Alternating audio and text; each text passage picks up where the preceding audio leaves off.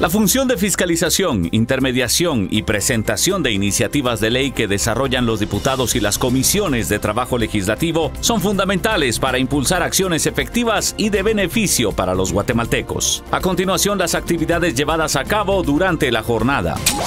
El primer vicepresidente, diputado Boris España, realizó una visita de fiscalización a la Cruz Roja de Guatemala, con el objetivo de conocer más de la labor que desarrolla dicha institución en proteger la vida y la salud de los guatemaltecos. Es importante mencionar que recientemente los diputados aprobaron el decreto 15-2023 que exonera de impuestos a dicha institución con el propósito de que continúe brindando sus servicios de asistencia humanitaria.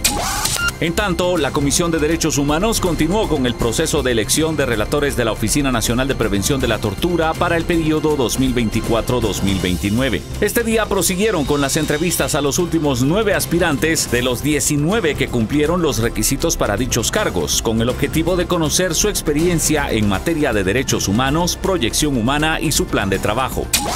Por su parte, el diputado Juan Francisco Mérida se reunió con representantes de la Secretaría contra la Violencia Sexual, Explotación y Trata de Personas, así como organizaciones relacionadas al tema de explotación sexual, para socializar una iniciativa de ley para la prevención y protección de niños, niñas y adolescentes contra la explotación sexual en actividades relacionadas con viajes, turismo y trata de personas. Seguidamente, el legislador Mérida, en conferencia de prensa, presentó ante Dirección Legislativa la referida propuesta de ley, con el objetivo de proteger a la niñez y adolescencia de este flagelo e impulsar acciones para su bienestar y desarrollo.